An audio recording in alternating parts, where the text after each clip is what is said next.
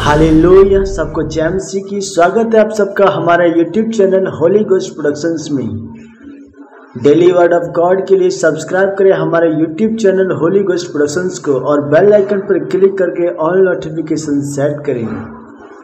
आइए आज हम पढ़ते हैं मेरी भविष्यवाणी की पुस्तक में से आज के पवित्र वचन को, जो परमेश्वर के दास अपोस्टल अंकुर यूसुफ नरोला जी और परमेश्वर की दासी पास्टर सोनिया यूसुफ नरोला जी के द्वारा लिखा गया है।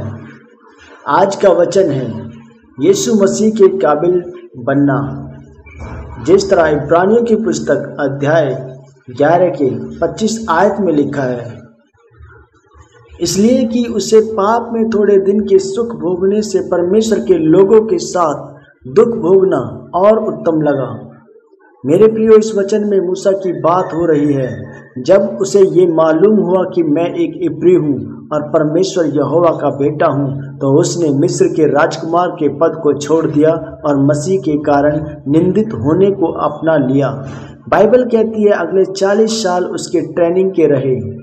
सबसे पहले मूसा ने फैसला लिया कि अपना जीवन दुखों में निकालने से अच्छा मैं मसीह के कारण निंदित होने के तैयार हूँ। बाइबल कहती है, उसने फैसला किया कि मैं परमेश्वर के लिए खड़ा रहूँगा।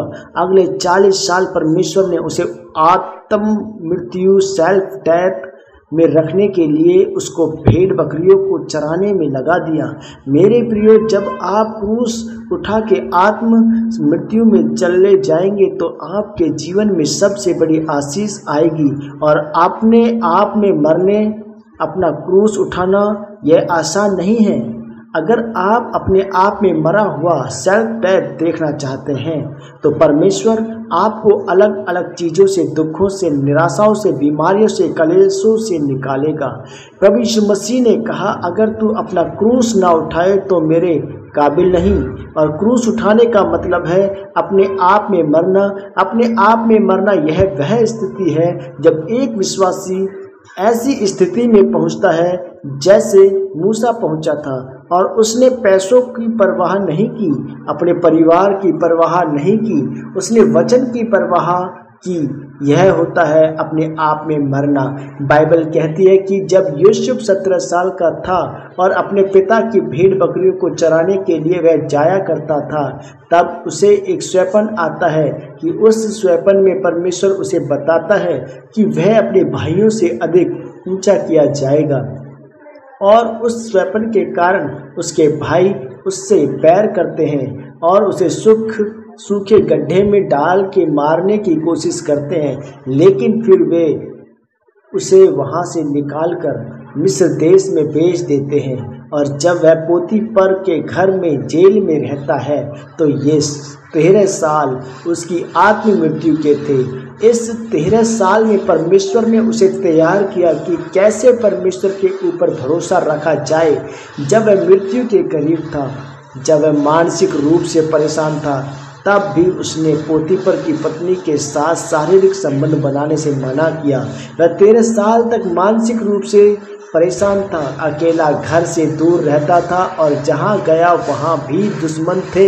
लेकिन फिर भी बाइबल कहती है यूसुफ सत्तीस साल का होकर प्रधानमंत्री बना और 110 साल तक जीवित रहा।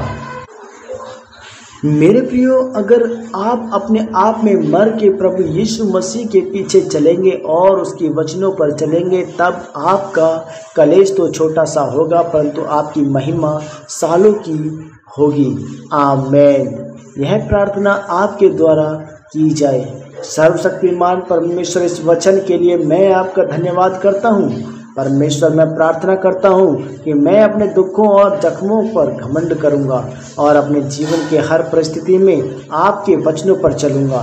प्रभु यीशु मसीह के नाम में, आमेन आमेन आमेन। सबको जैमसी की। God bless you all of you हमारा विश्वास है कि इस वचन के द्वारा परमेश्वर आपको ब्लेस आशीषित करेगा, ऊँचा करेगा। God bless you all of you परमेश्वर आपको ब्लेस करेगा।